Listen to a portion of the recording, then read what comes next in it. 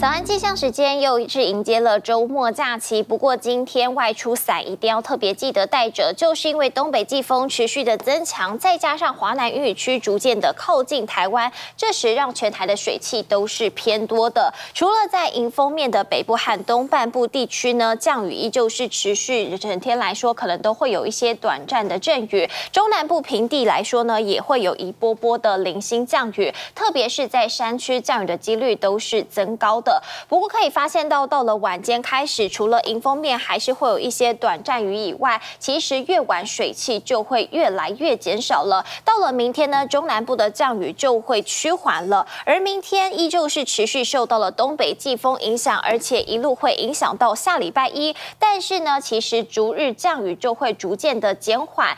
但是呢，在迎风面的北部和东半部仍然要留意，可能都会有一些零星的降雨。而东北季风当然也会影响到温度方面了，像是今天北台湾降温就比较有感，白天的低温大约是来到了二十一、二十二度。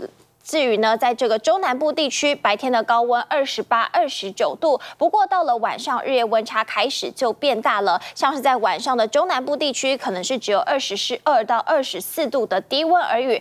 至于在东部地区呢，高温则是来到二十三到二十六度。最后就是要来看到，在明天的时候，其实凌晨有出现了这个月偏食，如果没有看到的话，可能就要等两年了。